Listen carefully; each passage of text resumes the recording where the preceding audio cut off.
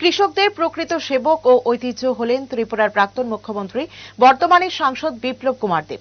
নতুন সংসদ ভবনে কৃষকদের ভোজ, সভা, শীর্ষক অনুষ্ঠানে বক্তব্য রাখতে গিয়ে উপরাষ্ট্রপতি জয়দীপ ধনকর এই অভিমত ব্যক্ত করেন। তিনি এদিন ত্রিপুরার প্রাক্তন মুখ্যমন্ত্রী, বর্তমানে সাংসদ বিপ্লব কুমার দেবের ভূয়সী প্রশংসা করেন। অন্নদাতাদের কল্যাণে রাজ্যসভায় উত্থাপিত বিভিন্ন বিষয়ে নিজের বক্তব্যে প্রায় পঞ্চাশ শতাংশ কৃষকদের স্বার্থে বিপ্লব কুমার দেব কথা বলেছেন বলে বক্তব্য রাখতে গিয়ে উল্লেখ করেন উপরাষ্ট্রপতি জয়দীপ ধনকর তিনি আশা ব্যক্ত করেন এই বিষয়ে আগামী দিনেও এই ভাবনায় ত্রিপুরার প্রাক্তন মুখ্যমন্ত্রী, বর্তমানে সাংসদ বিপ্লব কুমার দেব কৃষকদের কল্যাণার্থে কাজ করে যাবেন। উল্লেখ্য, নতুন সংসদ ভবনে কৃষকদের ভোজ সভা শীর্ষক অনুষ্ঠানের আয়োজন করেন উপরাষ্ট্রপতি জয়দীপ ধনকর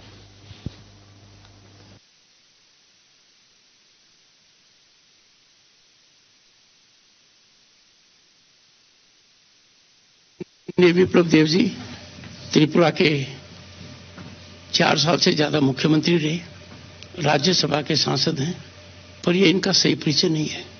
इनका सही परिचय ये है कि किसान के नाम से और किसान के हित के लिए इनका दिल धड़कता है।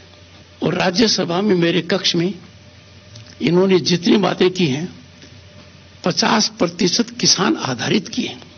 इस स्वास्थ्य को लेकर इस उम्र को लेकर इनकी प्रतिभा जो जनता ने आज तक देखी है, मैं मानकर चलता हूँ, ये किसान के सच्चे सेवक हैं।